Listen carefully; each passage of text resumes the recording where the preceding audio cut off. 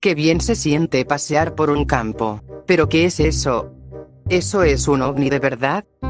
Hola. Soy PG el cerdo extraterrestre. ¿Tú cómo te llamas? Hola PG, mi nombre es Dalia. Soy una pájaro científica. ¿Te molesta si te estudio? No hay problema. Pero me gustaría saber sobre su especie. Vamos a mi laboratorio y me cuentas sobre ti. Una hora después. Y dime PG de dónde vienes.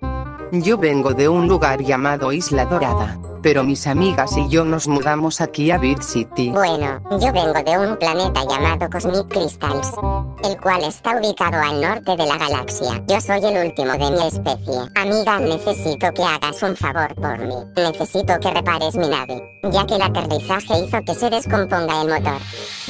Una hora después. Listo amigo. Ya pude reparar tu nave espacial. Muchas gracias por reparar mi nave espacial. Bueno, creo que esta es la despedida. Adiós amiga Dalia.